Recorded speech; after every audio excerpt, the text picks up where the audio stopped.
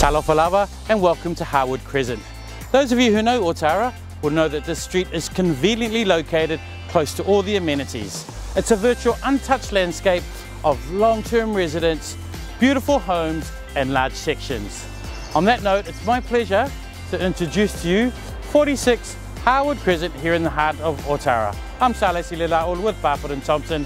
Please come on through.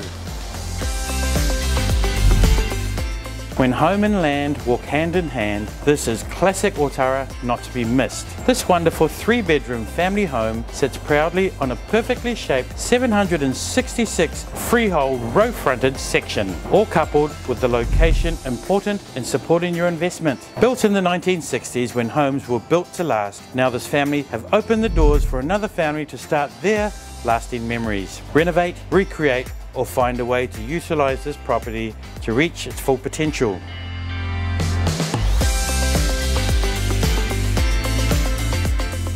This site ticks all the boxes. Give the council a call today and see what you can unlock under the residential mixed housing urban zoning. Give me a call and let me walk you through what might just be your new home or next investment opportunity.